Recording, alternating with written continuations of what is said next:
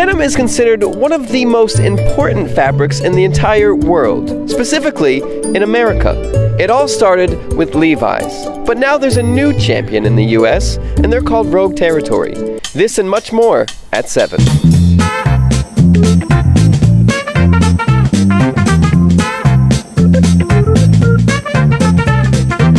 Well, good news everyone. Since the last video I made, it is still fall, as you can tell by this non-deciduous tree. They're probably coming for me.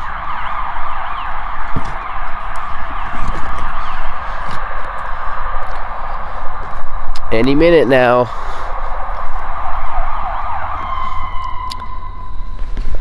Hello YouTube. It's Michael. And I'm sick today. I have a stuffy nose and I hate it. And I don't know how the video is going to come out today because I could die in the middle of it. I could just drop dead. But I'll try my best. So hopefully everything comes out good. You know, as I was doing that intro, I put my phone down.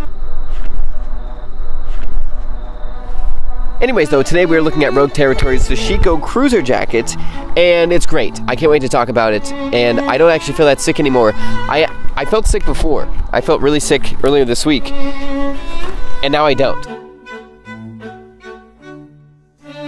Rogue Territory is the best denim craftsman in America. That's a statement. I'm sure some people will be like, that's not true, and other people will be like, yes, it is.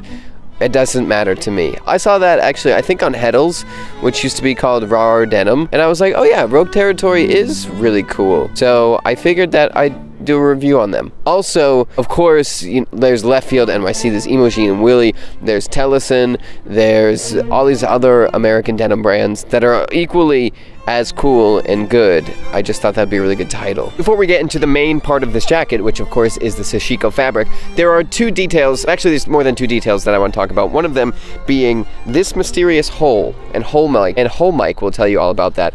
I was about to say whole milk, and then right as I was going to say it, I said that can't be right. On this jacket, you'll notice there's an extra buttonhole. We'll be getting into that. Thanks, Michael. So today we're looking at a brand called Rogue Territory, run by Carl and his wife, Leslie. I don't know what they responsibilities they share, but I do know Leslie goes by the name Little Pellets on Instagram, and if you package your returns incorrectly, she will kill you with little pellets, aka bullets. Fold your clothes. What are you, a baby? She posted that. I was like, oh my god, do I package my things like that when I return them? And then I realized the secret. I don't return anything because I'm I feel too bad that I bought something from the small company and then I returned it. So I just keep it. From what I understand, Carl is kind of just like a denim or tough heritage outerwear wonder child. He started working at American Rag and everybody really wanted all of his stuff and then something with Kanye West and he was just, you know, Carl was just one of those people that was born to do something and then he found it, which is the rarest combination of that. And it shows with all of his work. But without further ado, we will get into the Rogue Territory Sashiko. may also be wondering, why am I holding this stupid thing in my hand? Well, remember when I said that the microphone was broken on my camera? Turns out the camera was broken on my microphone. So the microphone jack just doesn't work anymore. So I have to use this, which I actually haven't used since like the fourth grade.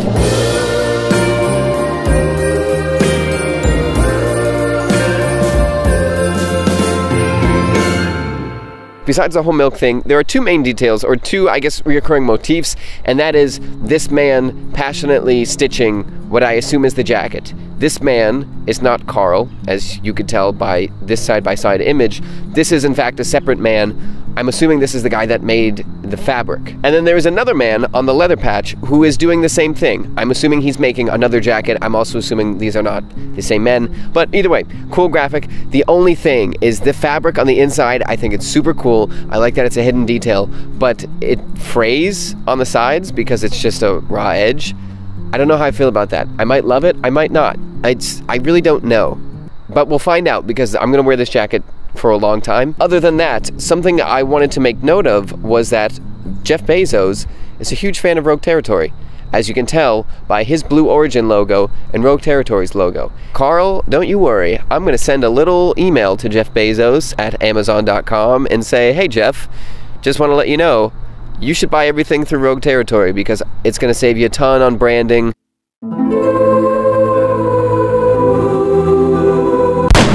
This is Rogue Territory's Sashiko Cruiser. Their cruiser line is their take on their Type 3, so kind of like this, except you could see the booby pockets are squared, and then there's these two lines that typically are diagonal on a Type 3, but not on this jacket. Also, side note, if there's any utilitarian purpose for these two lines on these jackets and on Type 3s, please let me know. I would really love to know. Honestly, that would make my whole life because I can't figure it out. I think it's just to give it some more visual interest. So there's a lot of interesting things about this jacket, but one of the weirdest things that tripped me up is the shoulder measurements are not what you typically see. So typically I wear like a 17 and a half inch shoulder. That's like my perfect size, 17.25 or something like that. And in order for that to be a thing with this jacket, I would have to get like a, in between a large and an extra large, which certainly isn't true. And I did hear that Rogue Territory jackets were really slim. So I just, I commented on Carl's post and I said, these are my measurements. It doesn't look like any of your jackets will really fit me. And Carl basically said to me, well, I'm bigger than you and the medium fits me. So I was like, okay, well, and this is the medium. I think it's either a perfect fit or it's a little too big. I don't really know, but I think when I wash it, I'll probably wash it with warm water or dry it, and then it will shrink and fit perfect. So I don't know how this fits. I think good. This video may be a little bit weird because I'm feeling a little sick, a little blue, a little in the gutter and I will probably just resort to cheap puns. You know, I just tried my first botany joke. I hope that went well. If not, I guess it didn't have any roots. the Rogue Territory website says that this jacket is slim, which makes me think that I may have sized up one, which I would highly suggest if you want to get a fit like mine where you can layer under it, because I think if I did get the small, I might be able to layer a very thin sweatshirt under it unless I got gained weight or if I washed it. But medium, I feel like either way I'll be able to layer something under it, which is good because I always want to do that. It really extends the length of when you can actually wear the jacket and fade it. This very nice, very large family was walking through the woods and they asked me to take their picture and I took it on my camera. I didn't realize they meant with their iPhone. So this is a 14 ounce Sashiko fabric coming from Japan. I forget the name of the mill, but I will say it right here. Nihon Menpu. Great job, Michael. You said that perfectly. And I am not the Sashiko king. I haven't had a ton of Sashiko, but if I do meet the king, I will bow to him and I will say, this is pretty good Sashiko, right? And he'll say, yeah, of course, it's from Rogue Territory. But I will say two things. One, this is the first Sashiko fabric that I bought that is actually very substantial. It feels very thick and stiff.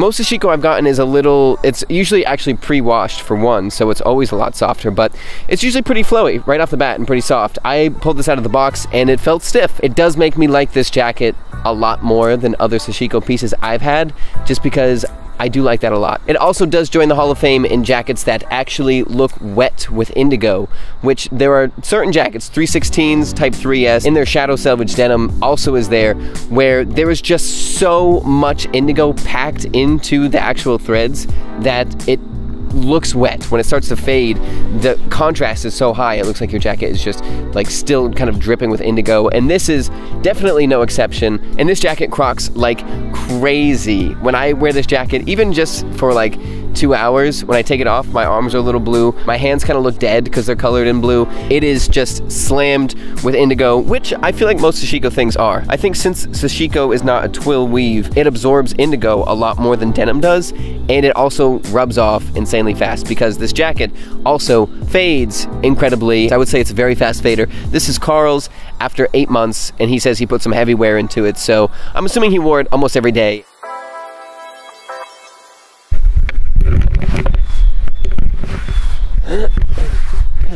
I would like to tell you that I am in my perfect environment. This is, you know, sometimes when they say, like a parakeet, they prefer climates between 70 and 73 degrees, and humidity should be this, or that might be plants, I can't remember. If I was a plant, they would say, put Michael right here in the dirt, and he will grow, and he'll show you everything he's got.